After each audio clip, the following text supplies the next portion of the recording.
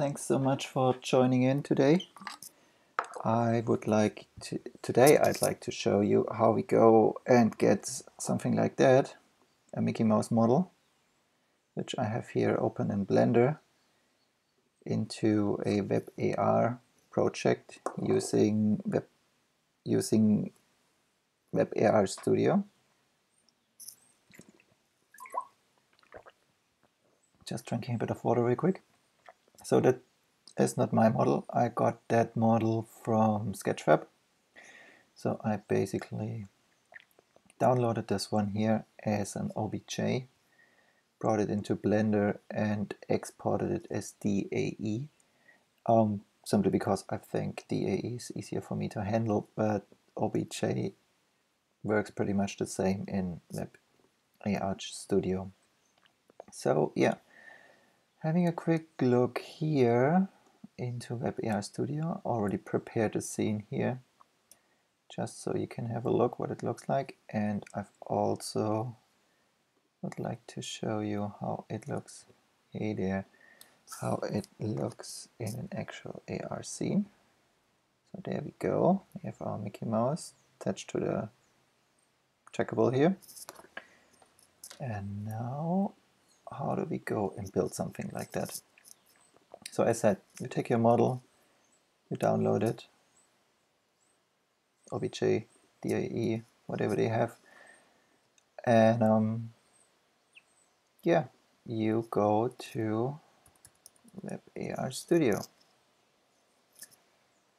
Now, once it's loaded and once you've got everything, you set up your basic project to be an AR project. If you need information how to do that, because I'm going through that really, really quick now, just look at my old previous videos. It will be explained there. Now I'm gonna copy my trackable also, if you need help on how to get those trackables done, there is another video. Just go back, have a look at that video. Um, that one is the magic button.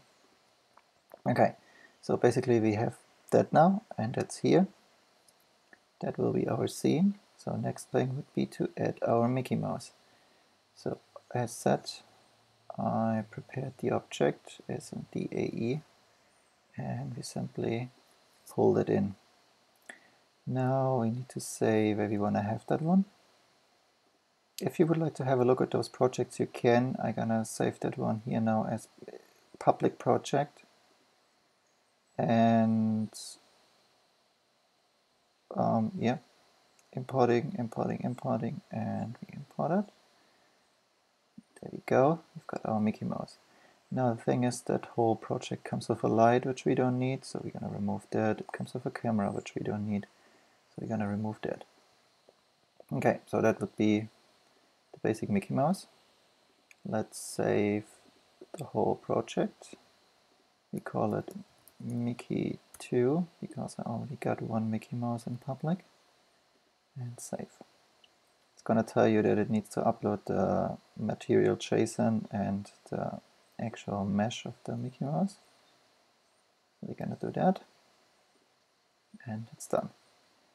Okay, now, well, basically, we've got a Mickey Mouse already. So if I hit play now, switch to the player, yeah, we not like much. Ah, the scaling is off, I guess. Yeah, it's tiny. It is tiny. Okay, yeah, yeah, yeah, tiny. Let's scale that up a bit. So we say, oh, Mickey Mouse, make it a bit bigger, maybe 5. And as we can see, it's halfway through the actual marker, so we want to raise it up a bit. Now it is on top. Let's give that another go. Go to the player. And, oh, pretty much, here we go. Still a bit tiny, uh, we can do, we can take care of that on the root node here. Just say we increase the size here by 10 as well. And then we've got our Mickey Mouse in a pretty nice sized here. Uh, yeah, okay. So next thing, because she looks a bit boring and gray, would be to add the texture to the material. So we're gonna go to our Mickey Mouse object here. You can see that it has the material here. So you want to edit that material.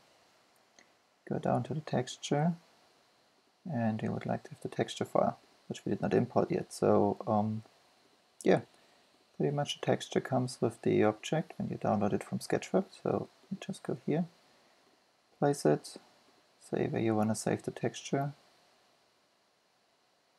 which we would like to have in the Mickey 2, which is not visible. That's odd. Just place it in projects for now and import. And then we've got a Mickey Mouse. In its glory, basically. So now let's run that again.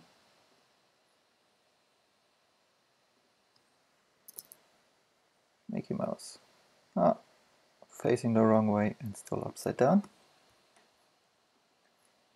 That's a basic matter of rotations. So we can rotate it in 90 degrees. No, maybe let's just do 180. And run that through once more. It Always depends a bit on the model that you get, how they are rotated. That didn't seem to do anything. In that case, if that does not want to set it back to zero, we rotate the actual model. Oh, already has a rotation. Interesting.